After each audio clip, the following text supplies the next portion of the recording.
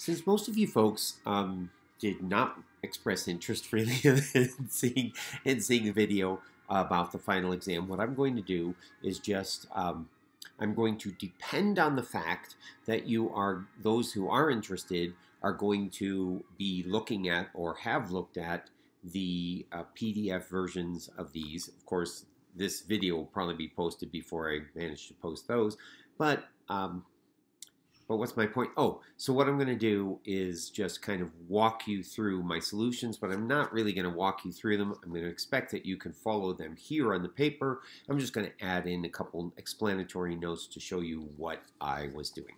Okay, um, so very quickly through the computational problems. First one, we have the disk of charge and disk of charge, and we have the wire here. Um, those are my geometries and labels right there. For the wire, we can just use Gauss's law, so it's pretty darn straightforward. So there it is. Um, you've seen that before for a wire. Um, for the disk, however, we can't. We must integrate. So what we're going to do, the important thing is we're going to integrate this dqr over oops, oops, oops, that's supposed to be an R hat. Excuse me, here, this should be an R hat. This one is the R in R cube. So I'll fix that before I post it. Um, so the electric field is just a dq, and then the r in the r cubed are the difficult things, or the r vector in the r. So we just need to um, define the distance from the point on the disk to y2, and if we take, define with this coordinate system right here, then rho is our radius variable in the xz plane, and then our x and z coordinates are just um, rho cosine theta and rho sine theta, and the vector that will get us out to y, this point p, where y equals y2, is just this vector right here. The r cubed is just the rho squared plus y2 squared to the 3 halves. And then it's just a matter of plugging into the equations. And so that's what we do. So um, when we do that, one interesting thing to check, we'd like to know that um, when we go to, when the radius of that disk is equal to infinity, we want to get the solution for a uh, an infinite plane. It's got to be the solution for the infinite plane. So I just did a quick check on that down here. And that's what's at the lower corner there. So that's good. All right. Um, da, da, da, uh, let's see. Oh, okay. And so those are the values. So I, I did the two values separately, the one for the wire, the one for the disk, and then what's the total? You just add them together. And then the question is, can we find a spot where these where they will cancel one another out. Basically, can we find a spot where we could put a charge and that charge would feel no net force? And the answer is that we can. Um, and how do we know that we can? We know we can because these are both in the j hat direction. They're both along the y-axis. And so we know we can find some place where they will um, the the value for each of those will exactly cancel each other out. One will be going this direction, the other going in that direction. We're done. Okay. Um, Okay, number two, the exact same geometry, except now we have a spinning disk and we have a wire that is moving with a velocity v. So the only tricky part, well, there's a couple tricky parts. Tricky part is figuring out what our currents are because we're now interested in the uh, magnetic fields, which are by created by moving charges, which we usually express in terms of our currents. And so, since we're most familiar with that, we don't have to do it this way, but since we're most familiar with that, we're going to think of it in terms of currents.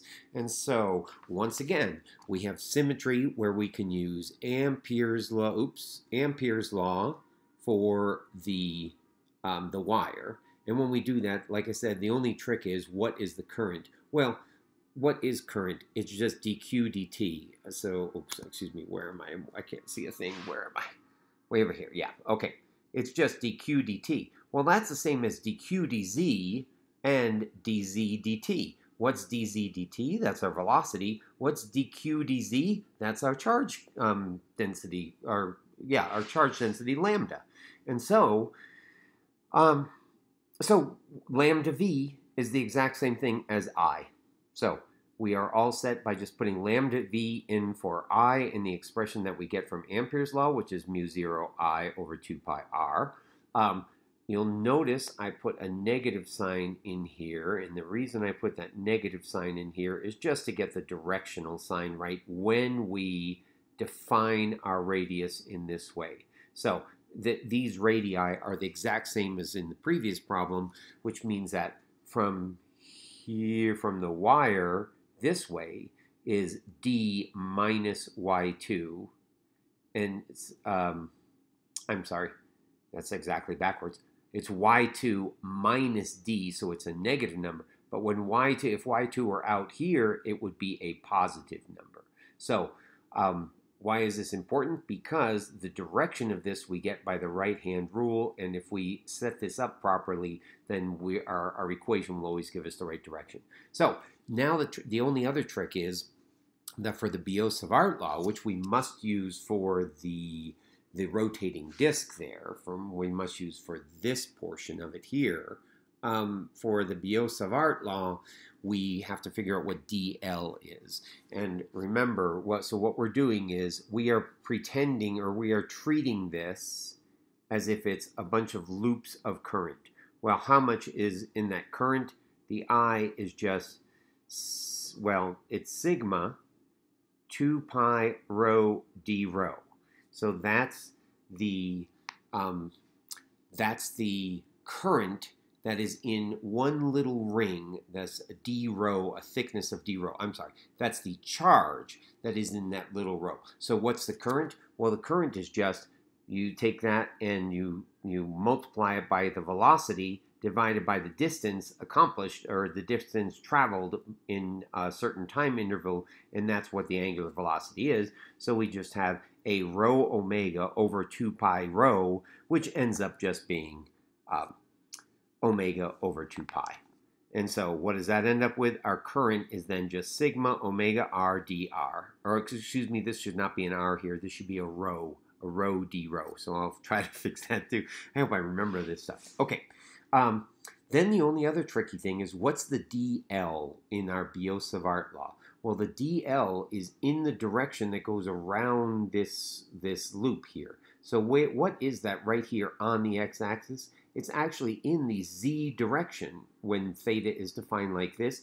That's the theta hat direction, direction, but it's in the z direction right here, which means that our DL starts out as it is um, cosine theta z, k hat or z hat, and sine uh, minus sine theta um, x hat or i hat. Okay, so that's where this dl comes from there. And then we already have the r from the previous part of the problem, so we just have to do dl cross r, and then it's pretty straightforward. We just um, do our algebra and a little bit of a little bit of calculus as well to do the Biot-Savart law. Now, once we do this, oh, excuse me, when we do this, we find out that, from my coordinate system here, this disk is creating a magnetic field in the j hat direction, or, oops, y hat. Gosh, I should do this now. So this is y. I should do all these corrections while I'm thinking of it. What did I forget here? Yes, okay. All right.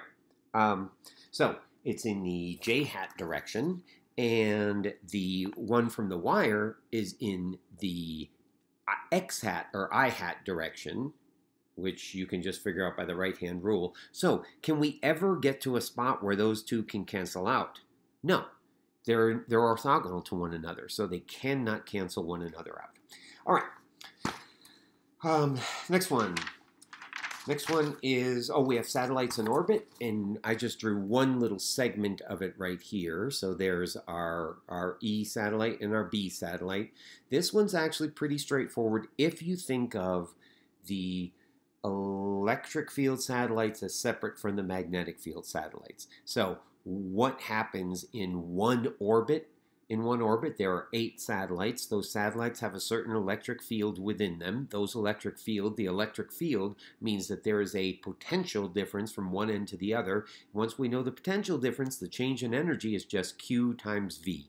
Once we know QV is the change in energy for each satellite it goes through, we know that QV must equal 1 half mv squared. We're adding kinetic energy by getting rid of potential energy. So we, we know that our, for each pass through one of those satellites, for each pass through a satellite, we add an energy Q delta V, and we know that that is defined in terms of the electric field and the distance just by this is just the definition of potential. We know that the length of one of those, we're given that. So the total energy added going through n satellites is just n times that. And since we start at v equals 0, then we know that the, we're, we're increasing the velocity incrementally each time we go through one of those. And so if we go through n, then we increase the velocity n times. And so this is just the expression we end up with for v sub n. Well, meanwhile, what are we doing with the magnetic field? For the magnetic field, what we're doing is we are, there are eight of these satellites. Those eight satellites must manage to turn this beam 360 degrees. That means one of those satellites must turn it 360 divided by 8 which is 40, 45, I hope. Um, or in radians, it's much easier. It's just 2 pi divided by 8, so it's pi over 4. So, um, so, uh, so then what do we know? We know that in, uh, let's see if I can get this. Okay, we know that in this distance, which is 100 meters, excuse me, er, nope, er, er, I can almost do it backwards. Okay, in that distance, which is 100 meters, we know that the, the, um, the beam must turn by pi over 4 radians, and therefore we know that the radius is just r times that angle. So whatever the radius is, we can just solve for the radius knowing the angle and knowing the length. So r theta equals L, which is what we have here, but we also know that because it's a magnetic field, we know that this, this R goes a constant uniform magnetic field. We know the R follows this equation, which means we can, we can calculate B. So now we have B, and now we have V, and the V changes for each time that we go through. Therefore, the B is going to change just based upon that. So the B follows that same expression, um, and then it's just a matter of putting the numbers in, and there we go. Okay, so next one. For the particle accelerator of the previous problem, now what we're doing is we're looking at what if there was a wire that was looped just inside the orbit of those satellites, and we could recover some of the energy that was put into those satellites or put into those um, electric and magnetic fields by using that loop there's going to be a magnetic flux change as we go from these particles traveling zero to these particles moving, whizzing around the Earth. And as the magnetic flux changes, it is going to create a voltage. That's what the law of induction is. So, um, so we are, so what we're going to do then is we're going to calculate the magnetic flux so that we can, can then calculate the change in the magnetic flux. If we can calculate change in magnetic flux, that automatically gives us the EMF. And so, um, which is what E dot dl, Faraday's law. E dot dl equals minus d dt of the magnetic flux. All right, so we, how do we set that problem up? Well, we need to figure out what the current is. So the current, first of all, um, we have a bundle of charges, big Q, and that's just N times the proton, the charge on a single proton. So we have that bundle of charges, big Q, and that bundle of charges goes around at this rate. V over 2 pi r is the rate in seconds by which it goes around. So if it goes around the Earth 58 times in a second, then the current is will, will be given by that ratio. Okay, so um, so that's the current. That's what uh, that's how I came up with this expression right here. Okay, So now we're going to make a couple assumptions. You will remember from an earlier video in the course that when you have a current loop, the value of the magnetic field does change within that current loop. However, it's pretty flat within it. If this was the current loop, we, we it starts out pretty low but goes to some value, kind of stays constant and comes back over here. So we're just going to assume that that's a uniform magnetic field. So if we calculate it for the center of the loop, we'll be done. So um, we could just remember that, that it's mu 0 i over 2r. Um, we could just remember that, or it's pretty straightforward to use the Biot-Savart law for that because it's just, it's a pretty, um, it's a pretty straightforward integral right here because this, um, the angle between d theta and r does not change. So we can just do this d theta integral, and what do we get? We get mu 0 i over 2r. Okay, so what's the total flux? The total flux is just the magnetic field times the area, which is pi r squared. And so we end up with the magnetic flux.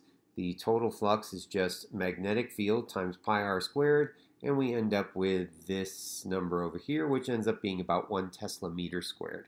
Well, how long does it take to get to that field? Oh, I'm sorry. The reason I want to know how long it takes to get to that level is because I'm going to assume that this is uniformly accelerating. It's too complicated to try to figure out it's every one eighth of a rotation, the rate of the current would change. So let's just assume it's a uniform acceleration all the way throughout. And if we do that, we'll just take the average velocity, divide it by the total distance, and we know then the time it takes to go from zero to the, the speed it's going at the end of its 1 million orbits around the Earth. And so that's just a very simple, straightforward calculation. That's just you take the distance divided by the average velocity, and you get that it takes about 40 seconds for this to happen.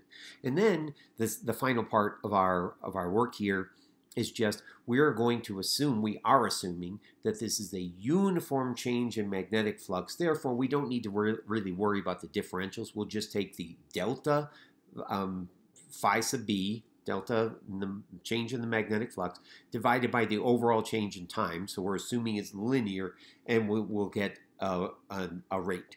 Well, excuse me, when we get that, that is our EMF. And so you can see how simple that equation is when we're there. We know our magnetic field goes from 0 to 1 Tesla meter squared, and our, it takes 40 seconds to do that, and we end up getting a whole whopping 25 millivolts out of that loop of current. Probably not worth it. Okay, finally, the last question. Um, this is the one that I thought was going to be really easy. I hope that um, it will appear to you that way now, even if it did when you weren't doing the test. So we have a capacitor that is hooked up to a, excuse me, we have a battery, capacitor, a resistor and a switch in a circuit. And we are looking for the time it takes to charge. We're given that the fact it take it reaches 63% of its value at a certain time. So what is that time? Well, that time is just, this is the expression for the current, um, the charge as a function of time. And so we end up when we have, are at 63%, that means 1 minus e to the minus t over rc is equal to 63%, which means that 37 or 0.37 equals e to the minus t over rc. Well, 0.37 is just 1 over e. So what that means is minus t over rc is minus 1, or t over rc equals 1. So to begin with, we know that T over RC equals 1 at 100 seconds. So that's our T1. So that's our T1. Okay, so then what do we do? Now we're going to add a resistor in parallel and a capacitor in parallel. When we add resistor in parallel, how does it add? It adds like this, so it goes to R over 2. When we add the capacitor in parallel, it adds like this, so we get 2C. Now what's the equation for the discharge in a capacitor? Well, that's just Q0 e to the minus t over RC. And we're asked when does it reach 0.37 or 37% of its value? Well, when does it do that? When it equals 1 over e. So if it equals 1 over e, that means that T2 over RC equals 1. But what is our new RC? in the new circuit. Our new RC is just our old R, excuse me, our R new times our C new, but that's just R over 2 times 2C, which is the same RC. What does RC equal? RC up here was to equal to T1. What's T1? T1 is equal to 100 seconds. So there is no change in the time it takes to, there is no difference between the time it takes to charge up to 63% of its value and discharge to 37% of its value. And, um, and that's that. Okay, um, that's it. Those are the computational problems, and I will post these soon.